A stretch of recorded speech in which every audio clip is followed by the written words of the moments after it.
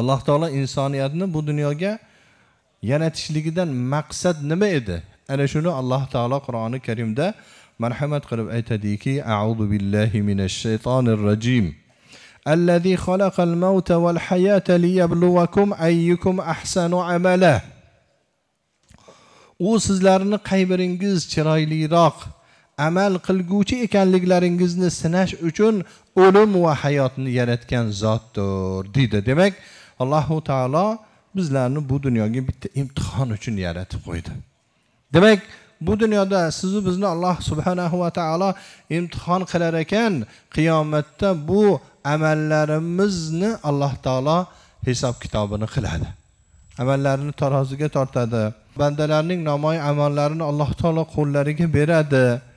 Demak inson bu dunyoga imtihon uchun kelgan ekan qiyomat kunida u hisob kitob qilinadi alloh subhanahu va taolo qur'oni karimda marhamat qilib aytadiki من عمل صالحا من ذكر أو أنثى وهو مؤمن فلنحيينه حياة طيبة ولنجزينه ولنجزينهم أجرهم بأحسن ما كانوا يعملون. الله تعالى يتديك إركك يوكي أيال مومن حالة دا برار إزغو إشقلسا بس أنجا yoqimli hayot baxsh eturmiz. Va ularni o'zlari qilib o'tgan go'zal amallari barobarida mukofotlaymiz deydi alloh subhanahu va taolo. Demak bu dunyoda bir erkak bo'ladimi ayol bo'ladimi amali solih qilar ekan?